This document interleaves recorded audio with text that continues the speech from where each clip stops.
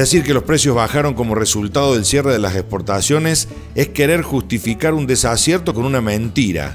Así comienza el comunicado de CRA con respecto a los dichos del presidente. La medida, dicen, no tuvo impacto en los precios al consumidor, que siguieron su tendencia estacional, pero sí afectó a pequeños y medianos productores, a trabajadores de toda la cadena y nos condena a menores índices productivos en el futuro cercano. La producción no se puede crear por decreto, señor presidente. La persistencia en el error destruye el entramado productivo, el aumento de oferta y la capacidad de generación de empleo genuino. No entender esto es simplemente una hemiplegia intelectual, así concluye el comunicado de CRA.